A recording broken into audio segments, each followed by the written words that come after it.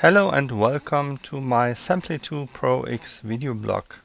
Today we will have a short look to the new export functionality and one little small thing that isn't not very good announced in the marketing but it is very helpful. And with this second thing we will start now. Uh, this new functionality is an additional object info for example, you see here in this object that the loudness is reduced by 0.6 dB. Normally you have to go with your mouse cursor to here and then you see in the info this reduction or increasement of the volume. So that is very helpful because you see relatively fast perhaps some modification to the loudness and the different objects you have made. So that's very helpful. But now let's go to the export functionality. You can call by uh, file and then export. But I use normally control and E and then I have directly this export. And I've also started to make my own presets and normally I use in this project this one, newborn babe I've selected this and you have seen it changed directly to my settings. We um, have a short go through. We can here in the first uh, section select the folder where it should go. I have selected here a user defined folder but you can use also the project folder or some other often used folder or you can say I want to choose it later when the saving started and you can also do the same with the file name itself. You can set a custom file name for your exported file and this is then always used. Or you can say here the default name should be used. That would be then the file name of the project only. And you can make it uh, up and down here. So and you can also choose here the routing, the master or all available outputs and also the track or only the tracks that not unmuted or all objects or something else. So you have here different options what you can choose.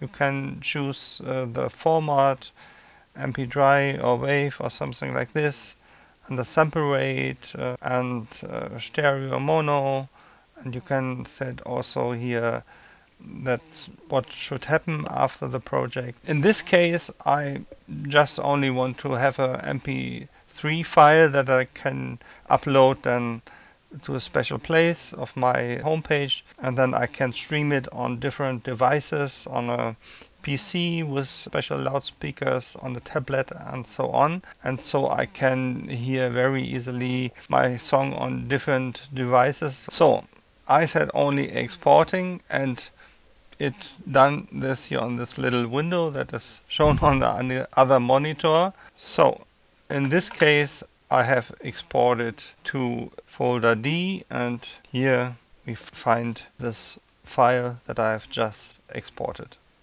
Another helpful preset is for example I have here a track with vocals, but I have edited it with Melodyne to skip out some wrong scores and so on. But sometimes it is uh, really helpful to save this track, perhaps to avoid that you have problems by changing the version of Samplitude by itself or some other problems that can happen. And so I simply select this as a solo track and press also again Control E.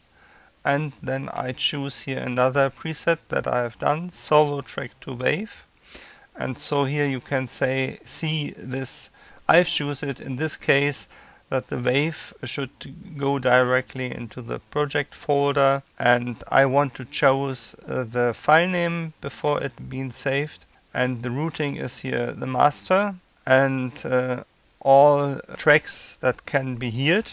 So this uh, is in the case only the solo track I have selected. And in this case I wanted to have it in the best quality in, in as WAV file and in 24-bit and stereo. Yeah, I don't want to have the master effects and also not the track effects so that I have the pu the pure vocals. But uh, Melodyne is nevertheless active and so I have the corrected track within it. So and then I press export and I can choose the name and then it will be saved. It's already done. And I can use it later. I can import it here or can replace this whatever I want yeah, I think this is a very helpful functionality.